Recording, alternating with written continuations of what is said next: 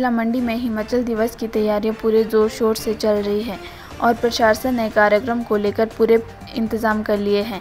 हिमाचल दिवस समारोह की परेड की तैयारियों का निरीक्षण बुधवार को डीसीपी राकेश कुमार ने किया।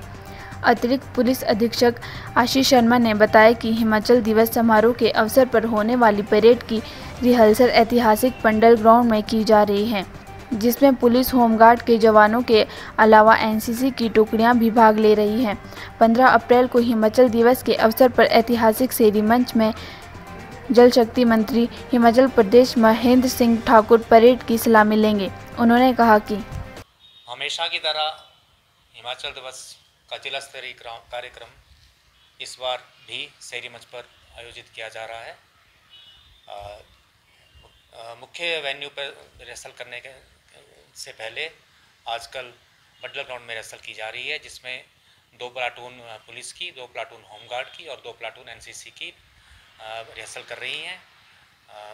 सभी रिहर्सल करने वाले जवानों में काफ़ी उत्साह है और उम्मीद है कि एक बढ़िया शो जो है, हिमाचल दिवस के मुख्य कार्यक्रम में देंगे।